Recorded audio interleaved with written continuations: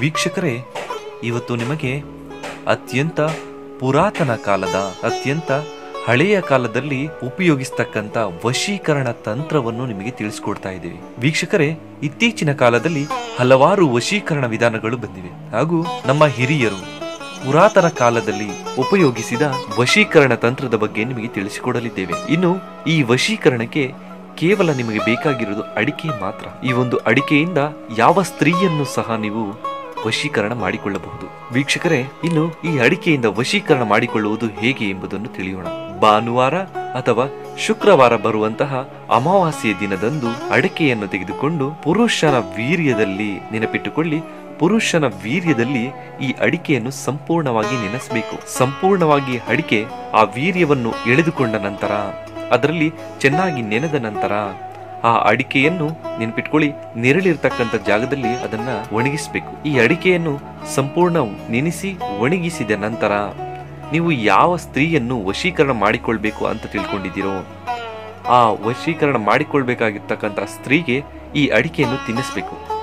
ನೀವೇ ತಿನ್ನಿಸ್ಬೋದು ಅಥವಾ ಯಾವುದಾದರೂ ರೂಪದಲ್ಲಿ ಅವರಿಗೆ ತಿನ್ನಿಸ್ಬೋದು.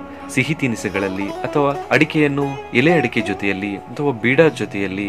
ಇದರಲ್ಲಿ ಯಾವುದಾದ್ರೂ ರೀತಿಯಲ್ಲಿ ಆ ಅಡಿಕೆಯನ್ನು ನೀವು ಯಾರನ್ನು ವಶೀಕರಣ ಮಾಡಿಕೊಳ್ಬೇಕು ಅಂತ ಹೇಳ್ಕೊಂಡಿದ್ರೋ ಅವರಿಗೆ ತಿನ್ನಿಸ್ಬೇಕು. ನೀವು ಇದೇ ರೀತಿ ತಿನ್ನಿಸಿದ್ದೆ ಅದರಲ್ಲಿ ಕೇವಲ ಕೇವಲ ಎಪ್ಪತ್ತೆರಡು ಗಂಟೆಯಲ್ಲಿ ಆ ಸ್ತ್ರೀ ನಿಮ್ಮನ್ನು ಆಕರ್ಷಿಸ್ತಾಳೆ. ನಿಮ್ಮ ಆಕರ್ಷಣೆಗೆ ಆ ಸ್ತ್ರೀ ಒಳಗಾಗ್ತಾಳೆ. ಇನ್ನು ಈ ವಶೀಕರಣ ತಂತ್ರ ತುಂಬಾ ಪುರಾತನ ಕಾಲದಲ್ಲಿ ಬೆಳೆಸ್ತಿದ್ರು. ಇನ್ನು ಈ ವಶೀಕರಣ ಮಾಡಬೇಕಾದ್ರೆ ನೆನಪಿಟ್ಟುಕೊಳ್ಳಿ ಅಡಿಕೆಯನ್ನು ಭಾನುವಾರ ಅಥವಾ ಶುಕ್ರವಾರ ಬಂದಂತಹ ಅಮಾವಾಸ್ಯೆ ದಿನದಂದು ಇನ್ನು ಈ ಅಡಿಕೆಯನ್ನು ನೆನೆಸಿಕೊಳ್ಳಬೇಕು.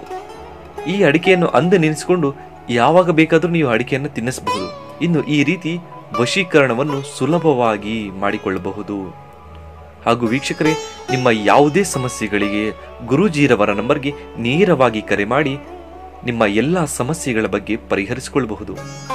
ಇನ್ನು ಗುರೂಜಿರವರು ಸಂಭೋಗ ವಶೀಕರಣ, ಸ್ತ್ರೀ ವಶೀಕರಣ ಪುರುಷ ವಶೀಕರಣ, ಧನ ವಶೀಕರಣ, ಲಕ್ಷ್ಮೀ ವಶೀಕರಣ ಹಾಗೂ ಗಂಡ ಹೆಂಡತಿ ಸಮಸ್ಯೆ, ಪ್ರೀತಿ ಪ್ರೇಮ ವಿಚಾರ, ಕೋರ್ಟ್ ವಿಚಾರ ಯಾವುದೇ ರೀತಿ ಸಮಸ್ಯೆಗಳಿದ್ರೂ, ಮಾಟ ಮಂತ್ರ ಸಮಸ್ಯೆಗಳು ಹಾಗೂ ಇನ್ನಿತರ ಯಾವುದೇ ಸಮಸ್ಯೆಗಳಿದ್ರೂ ಗುರೂಜಿರವರು ಕೇವಲ ಐದು ದಿನಗಳಲ್ಲಿ ಫೋನಿನ ಮೂಲಕ ಶಾಶ್ವತ ಪರಿಹಾರ ತಿಳಿಸಿಕೊಡ್ತಾರೆ.